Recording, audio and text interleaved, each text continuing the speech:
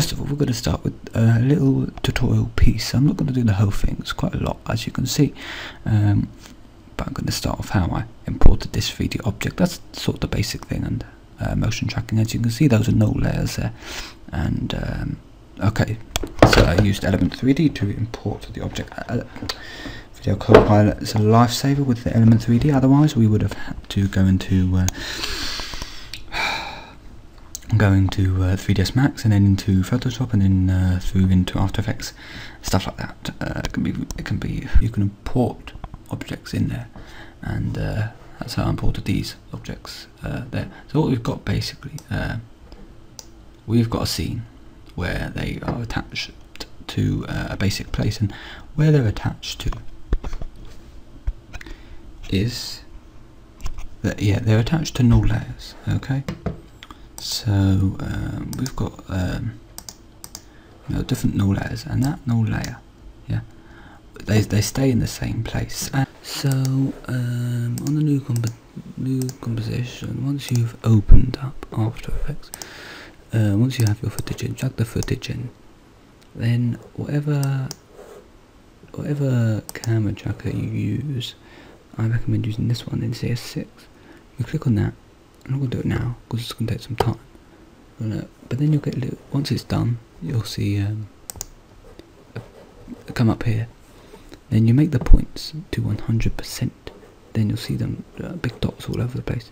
Then you want to click on them, right click, and then you want to add a null layer. Okay, so um, you do that to four points. Okay, so on here, all right. Here are the four points that I made. Okay, and then one of them you want to add, you want to make um, add null and camera. So that's how you get this this camera thingy, jiggy. Okay. So um, yeah, you want to do that first, and um, then basically what you need to do is you need to create um, a, a new solid. So new solid. Then what you want to do is you want to uh, you want to first you want to buy Element 3D from uh, Video Copilot. Then you want to uh, add effect Video Copilot Element 3D. Okay. Then you'll get to this. Now, is where you import your object.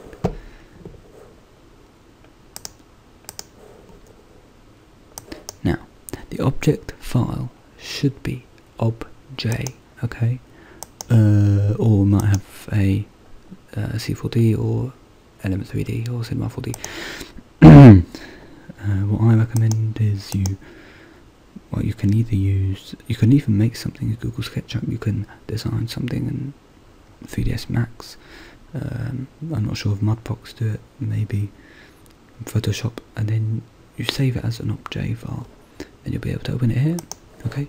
Now it won't seem 3D at first so um, if it's not 3D, that's a, you need. Well, actually, mine didn't seem 3D at first. You need to make sure that your object that you make is in 3D, otherwise it won't quite work properly. Uh, but you can. This can be used for uh, 2D as well, so it doesn't really matter. So we port the object, add an environment to it. Once you've set up all the lights and everything to your object, yeah. Once you set up all the lights, you know, uh, dramatic, whatever, want to use. Well, you know, that's obviously too dark there. Um, once you've set up all the materials, okay, and all the environments, you click OK. I've done all that. And then you have your objects. And basically then, what I did, I'm just going to tell you basically what I did. Um, I twisted them around a bit. I added an uh, adjustment layer, I believe. I added uh, some lighting to make it look like more atmosphere. Okay, and uh, yeah, I added this like this ground, so it like applied them to the ground, and that's how the end they sort of start to.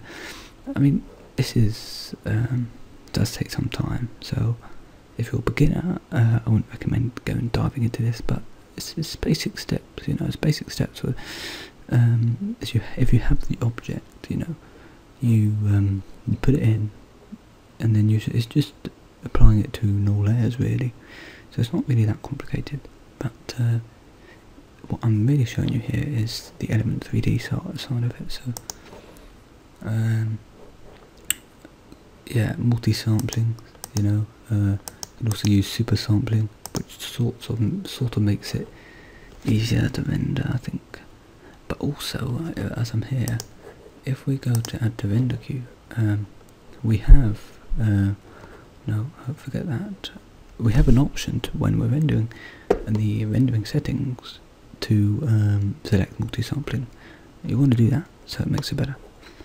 Basically, now I apply some hue, some saturation there, some I mean uh, color curves, and uh, the final product is on my channel. Moving on from that. Um, aside from all that,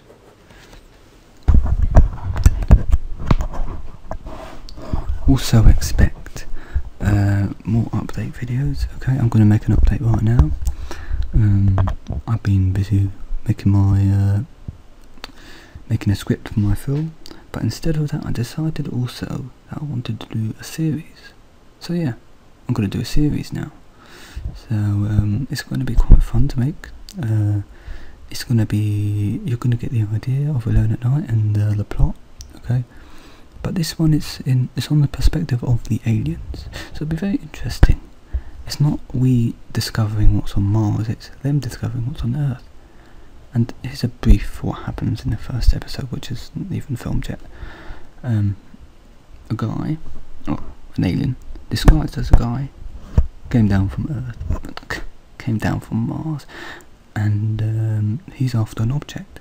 Now they sent this object down here to see if there's any new life, and basically, a, human have this has this object.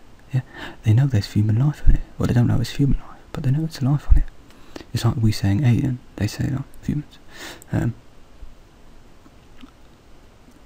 uh, yeah, they can disguise themselves, so they disguise themselves as one of them came down to Earth. They disguise themselves as an alien, uh, as a human. Sorry, uh, it's quite late. Uh, as a human, and uh, they're after this object, but they're not after the object. They want to sort of meet the humans, and that's sort of what I got up to. So if you have any, any ideas, comment in the comment section. Aside from that, you can also expect short other films separately, just short little pieces.